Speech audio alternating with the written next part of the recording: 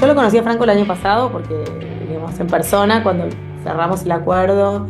Primero creo que cuando lo conoces, aunque sea por redes o personalmente, te enamorás, porque es, creo que representa todos los valores que nos gustan eh, de los argentinos, ¿no? Bueno, o los valores que nos gustan, digamos.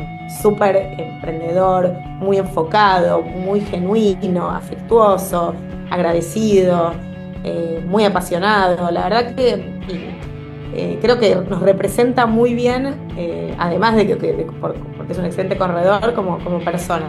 Y para nosotros, como empresa, que digamos, el lado justamente que tiene Global, yo te hablé de tecnología, pero ¿quién hace la tecnología? La hacen las personas. Nosotros somos una empresa en la que tiene mucho foco en el talento, porque para hacer los desarrollos que te cuento necesitas el mejor talento, ¿sí? Para estar siempre a la vanguardia en tecnología. Entonces, tenemos como una vocación de siempre apoyar al talento.